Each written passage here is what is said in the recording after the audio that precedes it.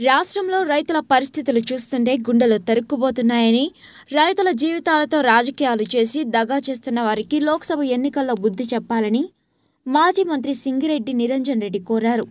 రైతులు ఆత్మహత్యలు జరుగుతున్నాయని పరిస్థితులు దారుణంగా ఉన్నాయని ఆవేదన వ్యక్తం చేశారు. కాంగ్రెస్కు ఓట్లు వేసినందుకు బుద్ధి వచ్చిందని ప్రజలు కంటతడి పెడుతున్నారన్న ఆయన ప్రభుత్వాలు ప్రజల కష్టాల్ని అర్థం చేసుకోవాలి తప్ప సమస్యను పక్కదారి పట్టించే ప్రయత్నం చేయడం సబబు కాదని ఆక్షేపించారు.